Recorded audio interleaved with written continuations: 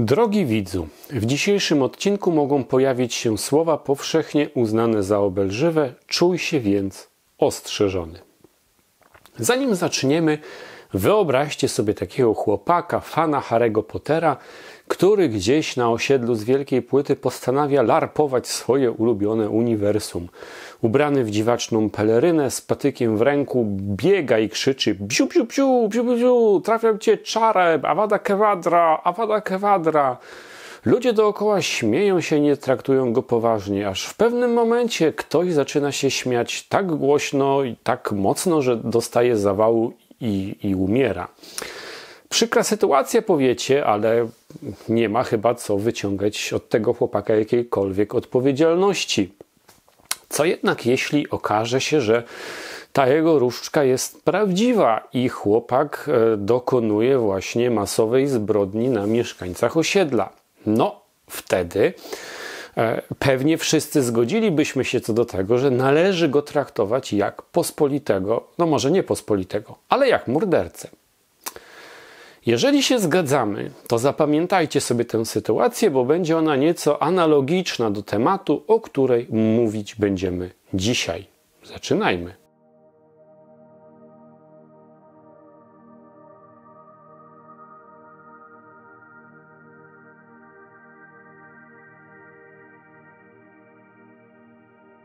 Moi drodzy, nie spodziewałem się dzisiaj babonów polskiej fantastyki. To znaczy, miałem gdzieś z tyłu głowy, że tak się może wydarzyć, ale jak widzieliście mój wywiad u księgarki, ja zachęcam do jego obejrzenia, bo myślę, że wypadł naprawdę fajnie, to ja tam mówię, że to, tak nie myślę na razie o babonach. No, mam jakiś tam pomysł na odcinek, ale to gdzieś tam dalsza przyszłość. A tu nagle myślę, że Was to uraduje, bo lubicie tę serię, mnie trochę mniej, bo trafił się kolejny babon i to babon bardzo specyficzny.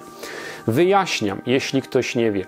E, seria Babony Polskiej Fantastyki, to jest trzeci odcinek tej serii, e, powstała w odpowiedzi na filmy Kasi Babis pod tytułem Dziadersi Polskiej Fantastyki, gdzie ona walczyła z mizoginią u pisarzy e, zajmujących się tym gatunkiem właśnie, tym nurtem właśnie.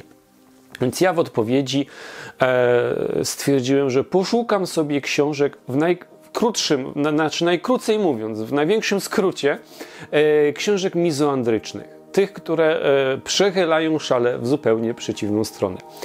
W przeciwieństwie do Kasi Babis, która wybierała tylko mężczyzn, a są przecież kobiety, które by do jej skali tam idealnie przystawały, e, ja nie mam skrupułów przed tym, żeby nie przedstawić, nie przedstawić Wam dzisiaj mężczyzny, który popełnił masakrycznego babona.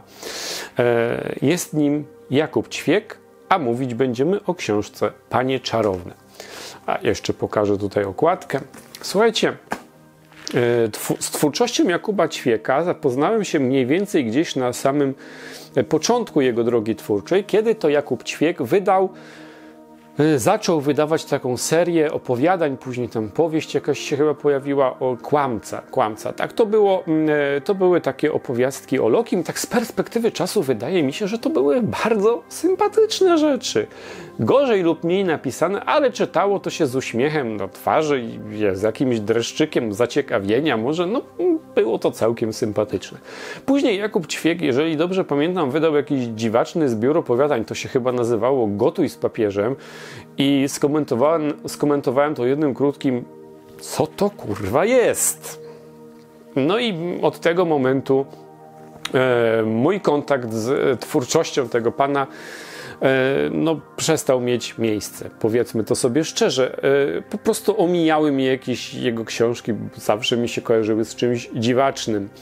E, co innego równe wpisy, na, wpisy w mediach społecznościowych, czy teksty, czy, czy równe historie związane z tym panem, bo przypominam, że e, to właśnie Jakub Ćwiek zasłynął swego czasu e, stwierdzeniem, z jaką częścią ciała kojarzy mu się prezes pewnej partii, albo z opisem tego, jak to w bohaterski sposób, niczym obrońcy Westerplatte, bronił pewnego iglo.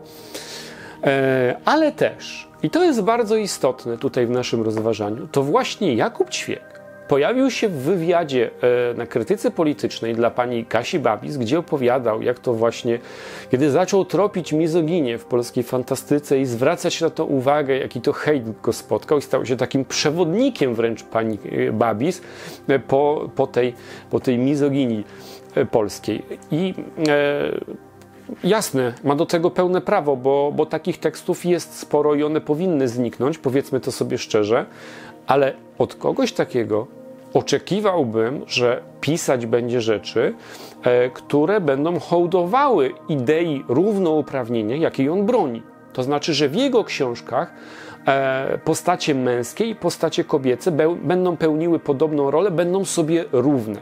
Tymczasem, jak się okazuje, w paniach czarownych absolutnie niczego takiego nie ma. W poprzednim odcinku, tym o Oldze Tokarczuk, mówiłem o czymś e, w stylu skali baboństwa, znaczy tego mierzenia, jak bardzo babońska jest dana książka, czyli mizoandryczna. E, jeżeli chodzi, jeżeli chodzi o Panie Czarowne, to tutaj byłoby to około pięciu punktów e, babona, pięciu babonów, E, czyli mniej niż u Tokarczuk i zdecydowanie mniej niż u Szpili. E, to jest mniej więcej ten poziom, że e, kobiety są zawsze lepsze od mężczyzn. To taka, taka zasada, tak? To nie jest ta kastracja mężczyzn jak u Szpili, to nie jest płeć nie istnieje jak u Tokarczuk, czy tam płeć jest konstruktem społecznym, a mężczyźni to debile.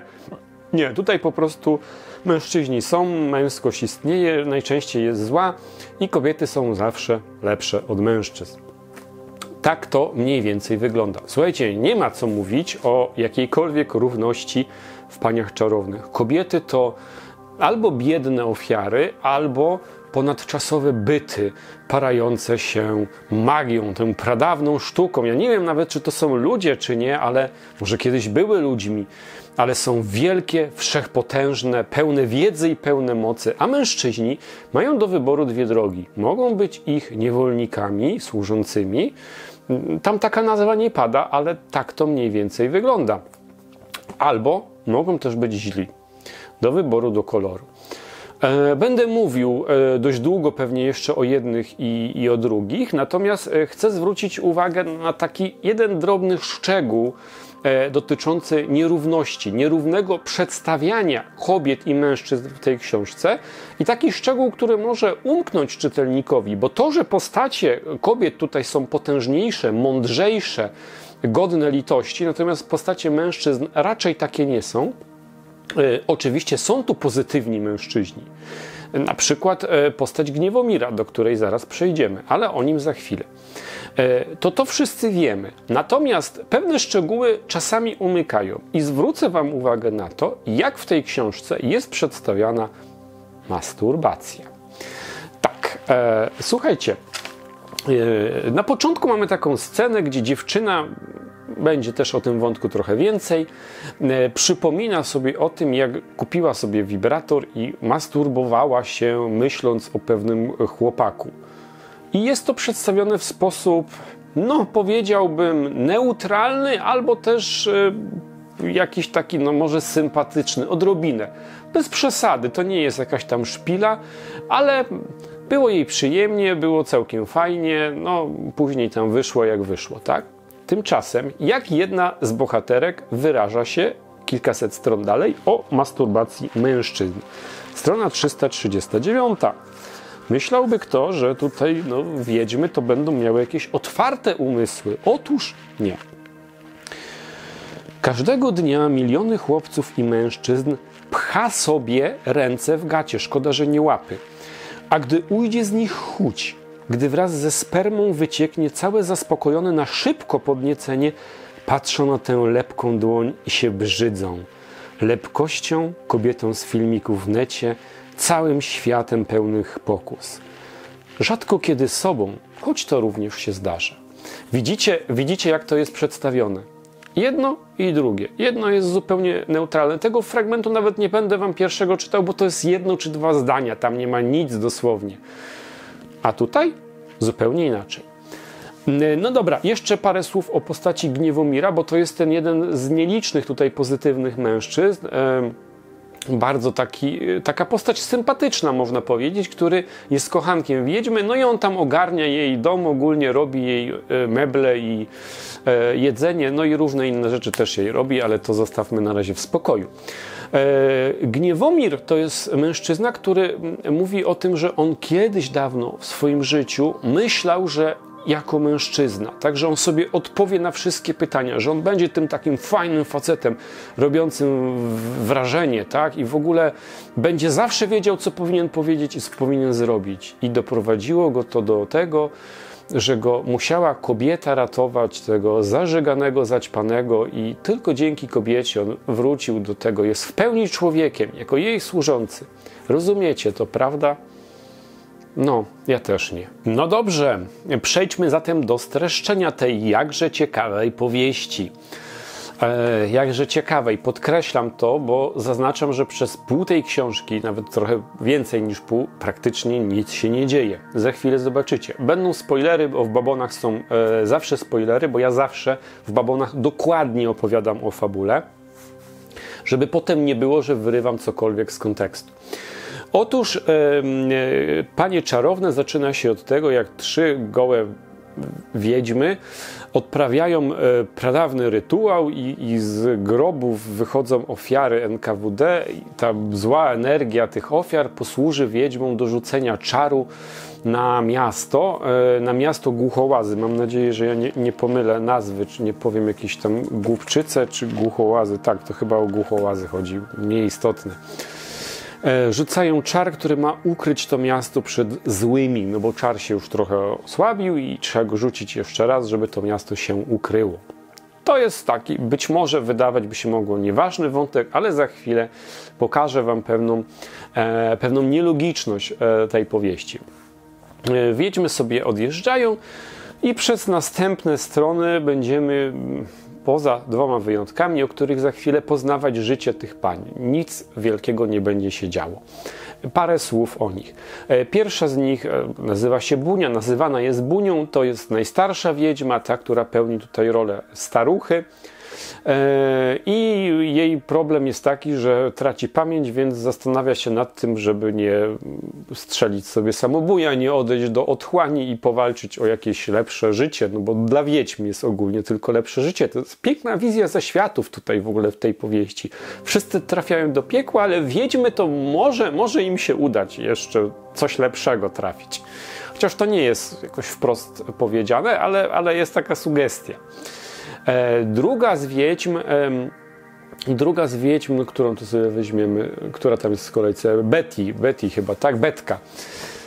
E, to Beatrycze, boska przewodniczka. Beatrycze, serio, wiedźma, tak, Dante polecam przeczytać. Nie, to, to nieważne, nieważne, jest sobie ta ma matka, tak, czy kobieta dojrzała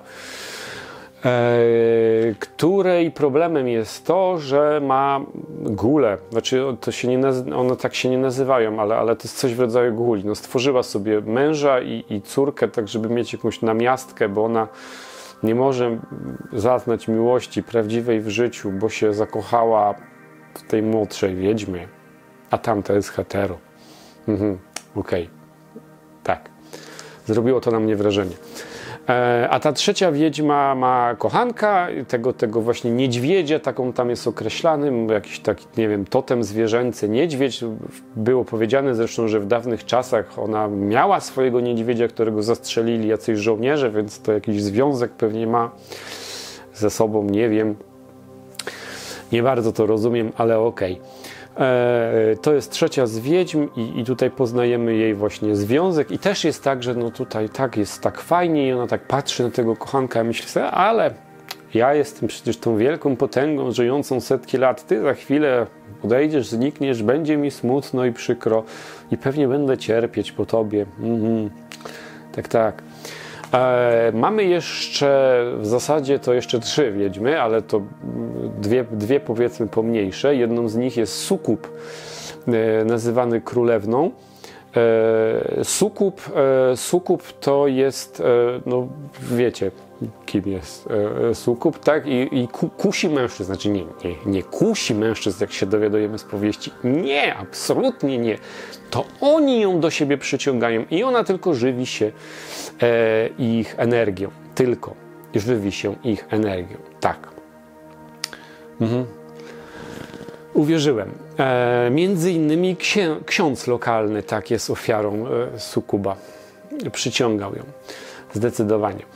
E, I jeszcze dwie to znajdują się już w innej miejscowości, jest to inny wątek, e, o którym za chwilę. Natomiast taka ciekawostka. Zaraz po tym, jak my zaczynamy się wdrażać powoli w, życie tych pań, e, to na stronie 47, któraś z wiedźm myśli o przeszłości, dowiadujemy się, że w przeszłości, w tej miejscowości, bo tam rzeczywiście były procesy oczary, wiedźmy były, zostały kobiety skrzywdzone przez kościół i ciemnotę. Chwila, chwila. Pierwsza sprawa jest taka, że to rzeczywiście było księstwo biskupie. Ale nawet w tym księstwie biskupim e, procesy oczary prowadzone były przez sądy świeckie.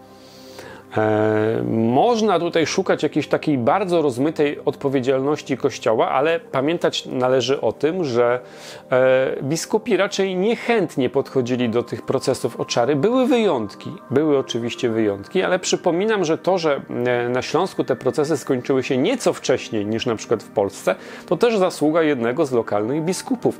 Inny zresztą już wcześniej próbował je wyhamować, ale był dość daleko, no i niespecjalnie mu się to e, udawało.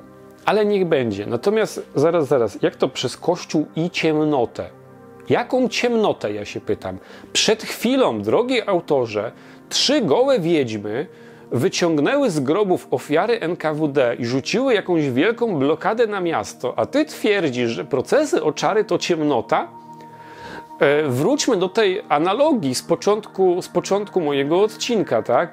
Jeżeli ktoś jest oskarżany o czary, a czary nie istnieją, no to w takim razie należy taki proces, jeżeli go ktoś oskarży, postawi pod, przed sądem, skaże, no potępić. No nie można skazać człowieka za coś, czego nie ma.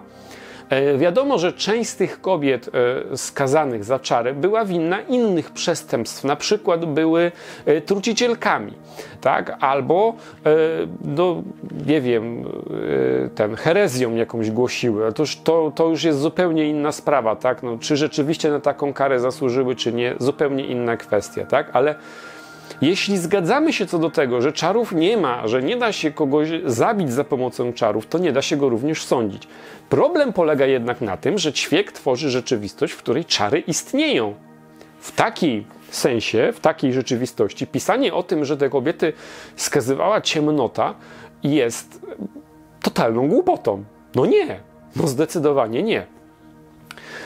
E, jak z tej sytuacji w ogóle można wyjść? E, jeżeli autor tworzy powieść o czarach, które istnieją i o e, kobietach parających się magią, jak to można wybronić, stworzyć pozytywne bohaterki? No są zasadniczo trzy wyjścia.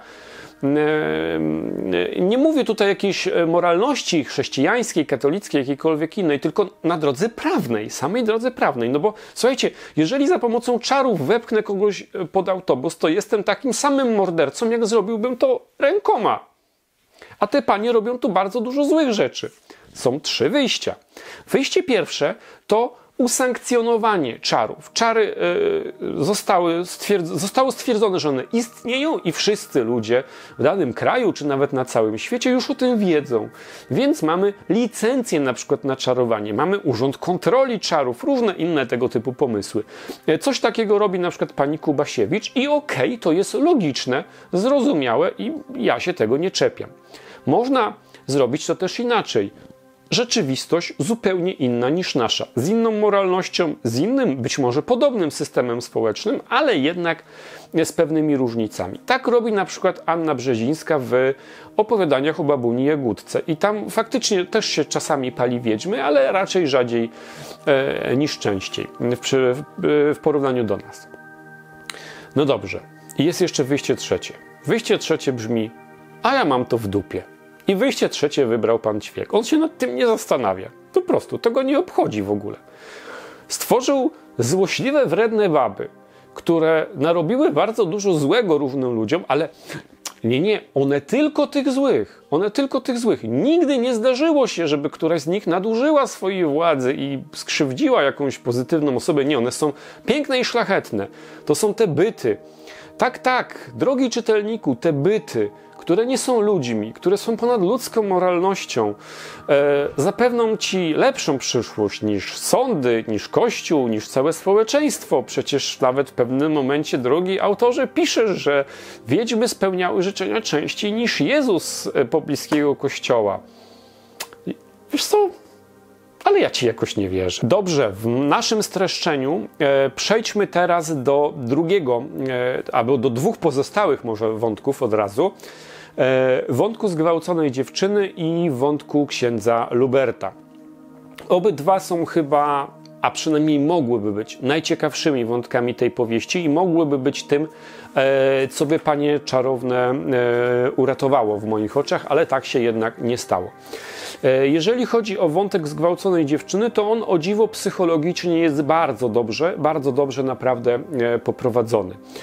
E, mamy taką sytuację gdzieś pod tymi całymi tam głucho, głuchołazami czy jakąś inną e, miejscowością, w jeszcze mniejszej miejscowości e, zostaje zgwałcona dziewczyna. Problem polega na tym, że nie ma szans na wygranie sprawy w sądzie z kilku przyczyn. Po pierwsze, człowiek, który ją zgwałcił, jest synem bardzo wpływowego mężczyzny, E, ten ma policję w kieszeni. No ale nawet gdybym chciała gdzieś tam pojechać do Wrocławia, czy gdzieś tam jeszcze indziej, to problem polega na tym, że podano jej pewną substancję, która sprawiła, że ona zachowywała się zupełnie inaczej. I nie chodzi tutaj o jakąś e, tabletkę czy pigułkę gwałtu, tylko po prostu eliksir, który sprawił, że ona zachowywała się jak wyuzdana e, kobieta, tak? I to mogłaby być naprawdę dobra zahaczka, taka trochę, trochę wnosząca trochę powagi w te, te problemy tutaj e, wiedźm. Gdyby nie to, jak straszliwie ćwiek przerysowuje różne sytuacje, które tę dziewczynę spotykają. Znaczy, ona na przykład trafia na komisariat. E, trafia, słuchajcie, na komisariat i scena przesłuchania, w której policjant, e, skorumpowany policjant, no, chce zrobić wszystko, żeby ona nie złożyła e, zażalenia, znaczy nie, nie złożyła w ogóle doniesienia na tego mężczyznę, który ją który ją zgwałcił, e, no mogłaby, mogłaby rzeczywiście tutaj nam zagrać i pokazywać taką bezduszność e, służb. Problem polega na tym, że ćwiek traktuje widza, znaczy czytelnika jak idiotę. Jak idiotę. To nie jest chyba oczywiste dla autora, że każdy czytelnik będzie rozumiał, że tutaj to ta dziewczyna jest skrzywdzona, a tamci są oprawcami. Ćwiek musi zrobić wszystko, żebyś ty, drogi czytelniku, przypadkiem się nie pomylił. Otóż musi, dowiadujesz się na początku, że komisariat jest brzydki, że jest brudny, że w nim śmierdzi, że ten policjant, który będzie e, przeprowadzał dochodzenie, jest odrażający on siorbie, on, znaczy nie, nie, nie siorbie, ale jakąś obleśną herbatę pije, on to specjalnie przedłuża, ma stary komputer, jest pomarszczony na twarzy, bo się odchudzał chyba przed chwilą.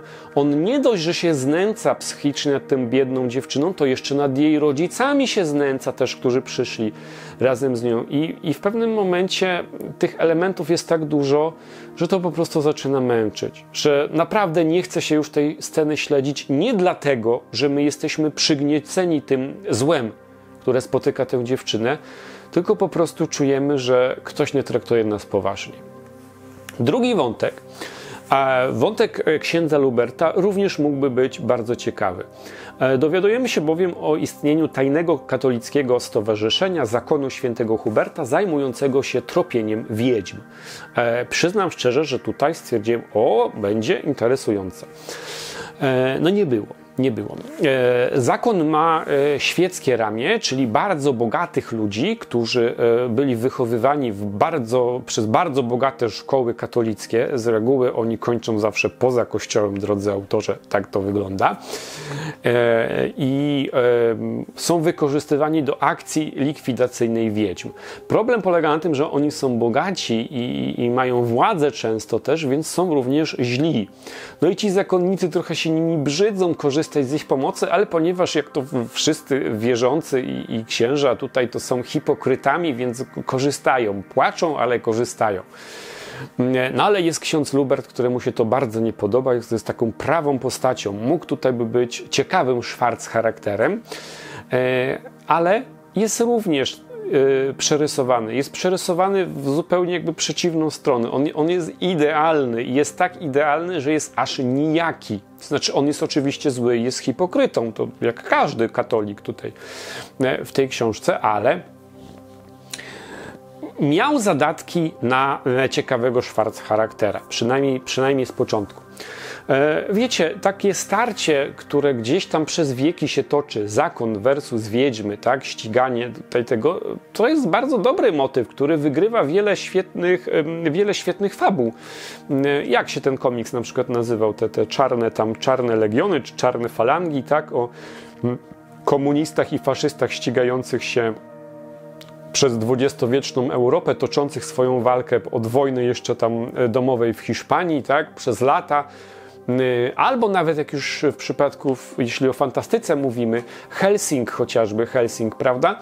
Tam też od początku było wiadomo, że protestanci są fajni, katolicy są niefajni, ale mimo to autorzy stworzyli e, postać księdza Andersena, który jest na tyle ciekawy, że kto wie, czy nie ma więcej fanów niż Alucard, czyli ten pozytywny rzekomo.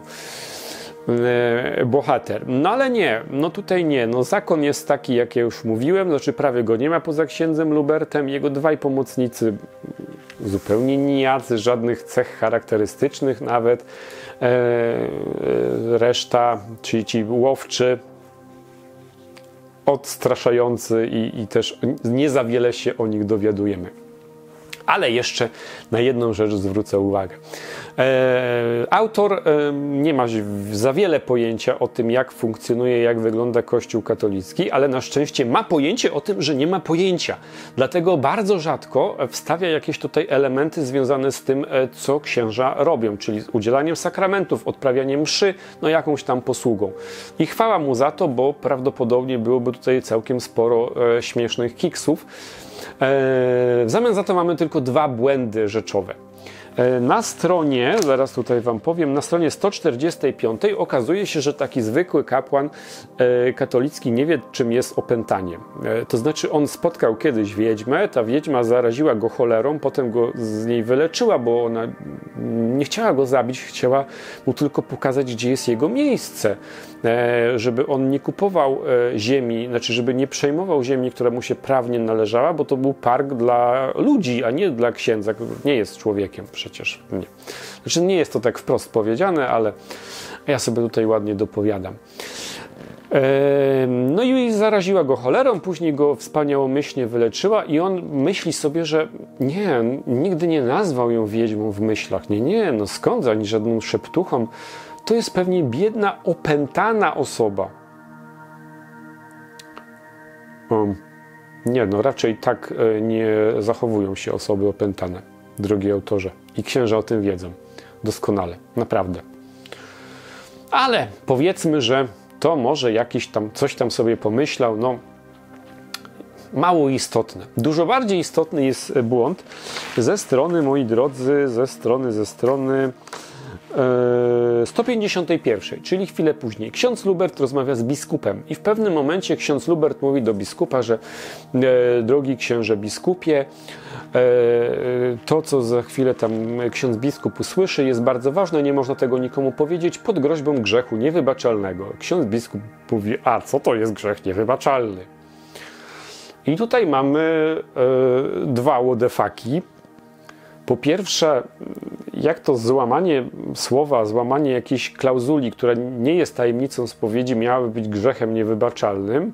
Nie wiem, bo po drugie, w teologii katolickiej istnieje coś takiego jak grzech niewybaczalny, i biskup doskonale będzie wiedział, co to jest takiego, bo to są wszystkie grzechy przeciwko Duchowi Świętemu. Nie byłoby takiej możliwości, żeby biskup się zdziwił, że co, jaki grzech niewybaczalny, pierwszy o, o, o czymś takim słyszę.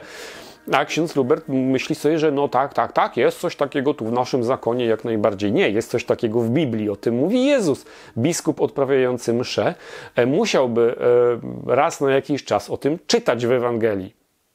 Więc radzę sprawdzić na przyszłość takie rzeczy, bo e, wychodzą nam tutaj bardzo e, zabawne kiksy. No dobrze, ale my idźmy z fabułą, bo tak jak mówiłem, niewiele się dzieje, niewiele się dzieje, ale w końcu zaczyna się powoli nam tutaj kształtować plan tych złych, którzy chcą odkryć siedliszcze wiedźm. A dlaczego zapytacie, oni o nie wiedzą, gdzie te wiedźmy istnieją, bo to przecież można by było sprawdzić, jeździć po całej Polsce i sprawdzać. No ale okazuje się, że ta klątwa, którą wiedźmy rzuciły na miasto, sprawia, że o tym mieście nikt nie wie, o, o tych głuchołazach chyba, tak? Tak. E, że one gdzieś tam pod jakimś... Ej, rzeczywiście, ja też tej nazwy nie mogę skojarzyć. Hmm. Czy może ta klątwa działa? Straszna sprawa. Przeczytałem książkę, już prawie nie pamiętam. A tam jest taka scena, że e, na przykład przychodzi, przychodzi jakiś list, czy oni mają jakiś list tych głuchołaz i pokazują komuś, no mówią, no to przeczytaj nazwę. I on patrzy i nie może przeczytać. Dobre. Nie powiem dobre. E, no i stwierdzają, że e, dojdą do tego w taki sposób, bo znaleźli wiedźmę, zlokalizowali wiedźmę, która robi karierę w stand-upie Mhm. To ja się nie dziwię, dlaczego polski stand-up jest na takim niskim poziomie.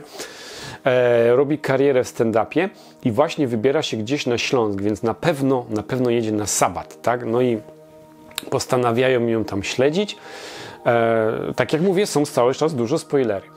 E, śledzą ją, E, dwóch chłopaczków tam, tam za nią jedzie, to jest takie nieco zaskakujące i ją zabijają, jak już trafiają do tych głupczyc, podrzynają jej gardło, z jej krwi produkują amulety i ściągają, do głuchołaz, przepraszam, ojej, cały czas mi się to myli. Do Głuchołaz i ściągają ten zakon e, cały, tak? E, znaczy nie zakon, tylko e, łowczych. Ściągają, dają im te amulety, no i już szykują się tutaj do napaści na wiedźmy.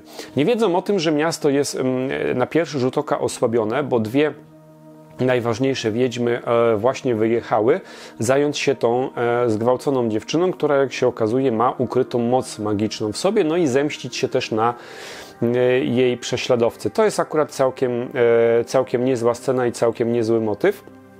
Natomiast e, najstarsza wiedźma właśnie się odpaliła, popełniła samobójstwo i weszła w otchłań, która wygląda jak jakiś ten, e, no, e, no, ten pokój, z którego trzeba się wydostać i różne rzeczy cię straszą z różnych stron. I ona sobie tworzy tego Jasia i Małgosię, e, którzy, przepraszam, mają jej bronić. No i dobra, no i oni wpadają e, do tego miasta. E, tu mamy ten punkt kulminacyjny całej powieści. E, trafiają na kochanka wiedźmy i na sukuba. Sukuba zdaje się, że udaje im się odpalić albo przynajmniej bardzo, bardzo ciężko zranić. Zabijają też kochanka wiedźmy i wtedy ta jego kochanka stwierdza, że a coś mnie poraziło, stało się coś strasznego, trzeba jechać na pomoc, więc e, wsiadają razem z Betką, e, czyli Beatryczą, boską przewodniczką, wsiadają w samochód, w terenówkę i ruszają na pomoc. Wiedzą, że nie zdążą, ale wtedy Betka, ponieważ jest z Beatrycza, czyli boską przewodniczką, wjeżdża tym samochodem na drugą stronę, to znaczy w, w, w ciemno ciemność, taką ciemność przez duże C, e, czyli w jakiś, nie wiem co to jest, jakiś Sheol czy cokolwiek innego. E, po drodze zabierają tę starą wiedźmę, która się właśnie odpaliła i, i jednak e, doszła do wniosku, że nie, bo zobaczyła tamtą, którą zabili łowcy, a to była jej ulubiona uczennica i stwierdziła, że nagle wróciły jej siły do życia, więc wskakują wszystkie do samochodu, ponieważ jechały przez tę inną rzeczywistość, która w ogóle nie jest fajna, e, to wyjeżdżają z niej bezpośrednio na środku tego grodu swojego, gdzie właśnie trwa walka z łowcami. I ta walka z łowcami wygląda tak, że ta e, najmłodsza z wiedźm robi tak siu, siu, siu, siu, siu, e, wzywa tajną moc z drzewa i wszyscy giną. Znaczy wszyscy źli giną. Mm ok, spodziewałem się czegoś mocniejszego, jeśli mam być szczery. E, no ale okazuje się, że zginął jej kochanek i wtedy ta Betka, e, Beatrycze, boska przewodniczka popełnia samobójstwo i mówi żyj dla niej, bo ty ją kochasz, a ona mnie nie kocha i umiera. Mhm. Okej. Okay. E, I wtedy następuje epilog, który spotęgował jeszcze bardziej moje wrażenie że coś poszło tu bardzo nie tak.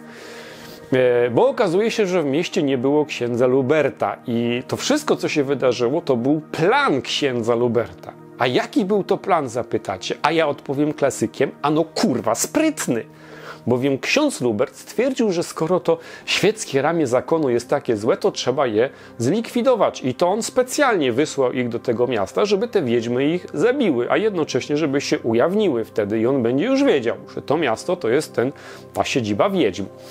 A skoro już o tym będzie wiedział, to będzie miał wejście do nich mm, no, od tyłu, że tak się wyrażę. Przez kogo? I tu jest zaskoczenie przez tę zgwałconą dziewczynę, bo okazuje się, że to była jego kuzynka i on, to właśnie on sprzedał tym chłopakom, które ją zgwałciły, ten magiczny specyfik, e, żeby ona się zachowywała w taki właśnie, a nie inny sposób. No, jest hipokrytą, bo zrobił coś złego dla większego dobra. To nie jest zgodne e, z teologią Kościoła, ale ksiądz Lubert ma własną najwyraźniej. E, no i tak, ksiądz Lubert czegoś takiego dokonał i powiedzmy, że do tego momentu ja bym jeszcze był w stanie jakoś to kupić. Problem polega na tym, że e, dalej e, ksiądz zaczyna się zachowywać w sposób zupełnie nieracjonalny. To znaczy, ktoś, kto stworzył tak genialny i wielopoziomowy plan, nagle zaczyna robić rzeczy zupełnie nierozsądne. I ja rozumiem, zawsze broniłem postaci zachowujących się nierozsądnie, jeżeli to nierozsądne zachowanie jest w jakiś sposób wyjaśnione. Tutaj mamy e, taką sytuację, że ksiądz stwierdza, że skoro pewnie e, te wiedźmy się ujawniły, to będą szukały tu jakiejś pomocy i zwrócą uwagę na tę jego kuzynkę. Nie wiem dlaczego nie założył, że one już zdążyły zwrócić na nią uwagę, jak to w rzeczywistości miało miejsce. Nie rozumiem tego zupełnie, ale taki jest. E, I nie wiem, co miał zamiar zrobić dalej, bo co zrobił? Po prostu do niej pojechał, do domu, tak sobie wszedł. Spodziewał się, że za chwilę pewnie pojawią się tam wiedźmy i co on im zrobi? No okazało się, że one już tam są i go zabiły. Tak po prostu. Koniec. E, więc ten brak, jeszcze jest króciutki epilog, który niewiele wnosi, więc ten brak logiki, e, brak jakiegoś, jakiejś sensowności zachowania księdza Luwerta, który wymyślił tak genialny plan, e, wynika tylko z jednej rzeczy. Wynika tylko z tego, że autor chciał już zakończyć tę żenującą powieść i chciał po prostu sprawić, żeby wiedźmy obroniły to miasto, które nazwa mi uchodzi, chyba to są głuchołazy, i żeby ten urok rzeczywiście był tak silny, żeby działał nawet na mnie. Więc dlatego tego księdza trzeba było zakatrupić w finale. Znaczy, ja wiem, że trzeba to było zrobić, ale dlaczego w taki sposób? Tego nie jestem w stanie pojąć. No ale dobra. I wiecie co? Może ja bym w ogóle nie mówił o tej książce. Może bym trochę ponarzekał w recenzjach zajdowych, powiedziałbym, że to najgorsza z tych nominowanych powieści ale stwierdziłem, że muszę nagrać ten odcinek e, po tym, jak zobaczyłem, jak ta książka jest napisana. Słuchajcie, to jest taki klasyczny przykład książki, w której czytelnik potyka się o zdanie.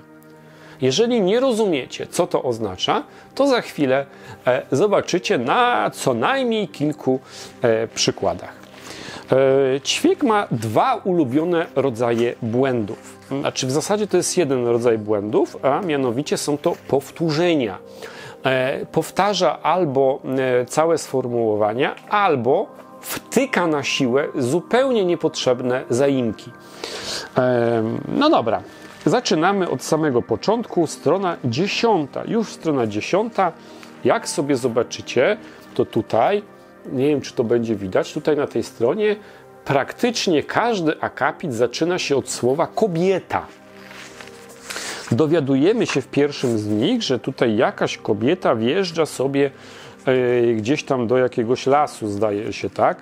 Więc kobieta za kierownicą omniotła wzrokiem coś tam, kobieta prychnęła, kobieta wsunęła kluczyki. jeżeli pierwszy akapit wprowadził nam y, jedyną praktycznie postać przez na kolejnych e, kilku stronach, e, to ja nie rozumiem, dlaczego w następnych zdaniach e, nie używamy podmiotu domyślnego. Nie wiem, nie mam pojęcia. No ale w czwartym, czwarty akapit wprawdzie nie zaczyna się od słowa kobieta, ale w drugim zdaniu mamy już kobietę. Piąty akapit, który składa się z jednego zdania na szczęście kobiety, nie ma, ale szósty zaczyna się już od słowa kobieta. E, siódmy akapit, który, e, który stanowi wypowiedź, również zawiera słowo kobieta. Proszę, naprawdę. Nie rozumiem dlaczego. I nie rozumiem jeszcze jednej rzeczy, ale o tym na koniec. E, strona 41 to jest kolejny, e, znaczy to jest ten drugi z ulubionych błędów e, ćwieka, czyli nadużywanie zaimków. Obudził ją jego brak. Jej ręka, którą miała go objąć, przy przewracaniu się na bok, uderzyła z plaśnięciem o prześcieradło. Ją, jego, jej, go. Jak to brzmi? No fatalnie. Oczywiście fatalnie. Strona 42, tutaj e, stronę później mamy kapitalne wtrącenie. E, wiedźm, wiedźmie wracają zmysły i, i przyszedł słuch, który przyniósł równe tutaj e, doznania i między innymi usłyszała bicie jej lilki własnego serca. Znaczy, jeśli mamy bicie jej własnego serca, to jaki sens ma robienie wtrącenia z imienia? To zupełnie rozbija na merytum zdania. E, kolejny akapit i mamy znowu e, napakowanie go zaimkami. Nie lubiła tej części, nie miała tego w przypadku innych zmysłów, nie przyznawała się też do tego przed nikim, ale nie znosiła, gdy świat był nieostry. Wow, ja tak nie potrafię. Eee, strona 77. Och, to jest, to jest, to jest mój, moje ulubione zdanie. Zdanie z gatunku tak zwanych brawurowych. Przeczytam wam jeszcze zdanie wcześniej, żebyście wiedzieli o co tutaj chodzi. Najstarsza z głuchołaskich, a to głuchołazy jednak, z głuchołaskich wiedźm szła ubitą, poznaczoną kolejnami drogą, kołysząc się na boki. I teraz uwaga. Gdyby nie była bunią, gdyby była kimkolwiek innym prócz niej i gospodarzy psy już dawno dałyby znać. Teraz, gdyby była kimkolwiek innym prócz niej, przecież w samym sformułowaniu, gdyby była kimkolwiek innym, zawiera się już to, że gdyby nie była sobą, tak? Więc nie trzeba tego dopowiadać poprzez ulubiony zaimek e, pana Ćwieka. Dobrze, co my tutaj dalej mamy? E, a, strona 175. Po drodze były dwa dwa błędy dotyczące kościoła, o których mówiłem już wcześniej. Strona 175. E, strona 175, moi drodzy, e, zaimki znowu będą. A jest. Zofia spięła się, zwalczając irracjonalny, ale bardzo silny odruch i cofnąć, bardzo silny odruch, by cofnąć się w głąb kuchni. I to właśnie przywołało do jej myśli Jagnę, która poczuła to niczym uczucie, ukłucie wewnątrz głowy. E, która poczuła ukłucie wewnątrz głowy. Nie wiem, czemu to to jest powtórzone dosłownie kilka słów później, nim się e, pojawiło. E, dobrze, strona 235, skaczemy dalej. Ja te błędy tak wyłapywałem trochę, e, trochę ten trochę chaotycznie, nie, nie skupiałem się tutaj na jakimś dokładnym znęcaniu się nad tą książką. E, kolejne powtórzenie. Pozwoliła, by dym rozgrzał ją w środku, by podrażnił gardło i pozwolił udawać, że to właśnie on ściska jej teraz gardło. Gardło, gardło, pozwolił, pozwolił. Zabawne. E, strona 289. Eee, powiodła wzrokiem po sypialni w poszukiwaniu. A, z wzrokiem. No to nie jest może jakiś duży błąd. Ja tu pominąłem część na przykład e, literówek, takich jak e, zdanie, danie na przykład. Tak, że ktoś tam miał jakieś zdanie, a w spowieści wychodzi, że miał danie. A tutaj spowiodła wzrokiem po sypialni w poszukiwaniu właściwych pajęczyn, ale nawet teraz, gdy szukała wzrokiem czegoś konkretnego, no ale my mamy wcześniej wiadomość o tym, że ona już szuka tym wzrokiem czegoś. 345 to jest też kapitalna konstrukcja zdania, której po prostu nie jestem w stanie pojąć, mm, gdzie to jest. A. Yy, niemal w tej samej chwili, gdy to mówił, kilka metrów dalej wokół niedopałka poruszyła się trawa, nakryła go, jakby uginała się pod, pod wiatru, przecinek poruszyła się ziemia. Poruszyła się ziemia. Ale to, to, jest, to jest taka doklejka do tego zdania, której zupełnie nie, nie jestem w stanie mm, pojąć. I jeszcze strona 386. A, to będzie dobre, to będzie dobre zdanie. Teraz wszystkie cztery, e, tu chodzi o psy. Czyli teraz wszystkie cztery spały spokojnie na łóżku, niemal w kole, każdy z łbem na cielsku kąpana, niczym psia interpretacja uroborosa, a brud z ich ubłoconej sierści pokrywał teraz niemal całą pościel.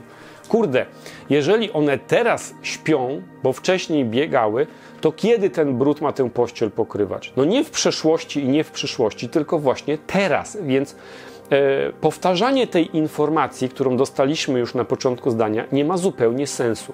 Ta książka jest wprost naszpikowana takimi błędami. To się fatalnie czyta. Co mnie zaskoczyło, dedykuje e, e, Ćwiek tę książkę redaktorce. No ale może rzeczywiście redaktorka tutaj zrobiła dobrą robotę, wykosiła mu być może całą masę błędów dotyczących księży i tylko gdzieś tam te dwa drobne jej przemknęły, może jakieś inne rzeczy też mu poprawiła, ale kto tutaj robił korektę. Sprawdziłem i mamy tutaj dwie panie. Panią Anetę, pani Anetę Wieczorek, której nie kojarzę, ale drugie nazwisko mówi mi już bardzo dużo i mówi bardzo dużo o stanie tej książki, bo korektorką była pani Magdalena Świerczek-Gryboś. A jeżeli nic to nazwisko wam nie mówi, to ja gdzieś tu albo tu wkleję wam link do pewnej zajdlowej recenzji. Obejrzyjcie ją sobie. E, jeśli ten film wam się podobał, to ta recenzja spodoba wam się też, a może nawet jeszcze bardziej. I dajcie znać, co o tym wszystkim myślicie. E, jeżeli Wam się podobają babony, jeżeli Wam się podobają recenzje, które się tutaj pojawiają, czy inne filmy, to wesprzeć można mnie na, na Patronite albo na YouTubie. Macie linki gdzieś tam e, pod filmikami. E, też w komentarzu będzie link do Patronite'a, ale też polecam wsparcie z YouTube'a, bo tam można takie grosze wpłacać, a to też zawsze jest bardzo miłe, sympatyczne i fajne. I zapraszam wtedy na Discorda. E, a jak komuś linka nie wysłałem z, z tym zaproszeniem na Discorda, to ten, to bardzo, e, to bardzo przepraszam i proszę się zgłaszać do mnie. Chcę jeszcze też powiedzieć, że całkiem sporo komentarzy jest kasowanych przez YouTube'a. Nie wiem, nie rozumiem dlaczego. Między innymi e, użytkownik albo użytkowniczka Arizmus, jeśli dobrze pamiętam, to są już regularnie koszone komentarze przez YouTube'a, nie przeze mnie. Nie rozumiem i nie wiem, dlaczego tak się dzieje. Z góry przepraszam. Dobrze, moi drodzy. Ja będę już kończył. Odpowiedzcie mi w komentarzach na jedno pytanie. Dlaczego dzieje się tak, że te wszystkie mizogińskie e, książki, ta mizogińska fantastyka ma taką różnorodność tematów, tymczasem książki babońskie są o wiedźmach? Nie wiem, szczerze mówiąc. Ale cytując klasyka, domyślam się. To był Graf Zero, vlog literacki o książkach, o literaturze, o kulturze, bez pardonu.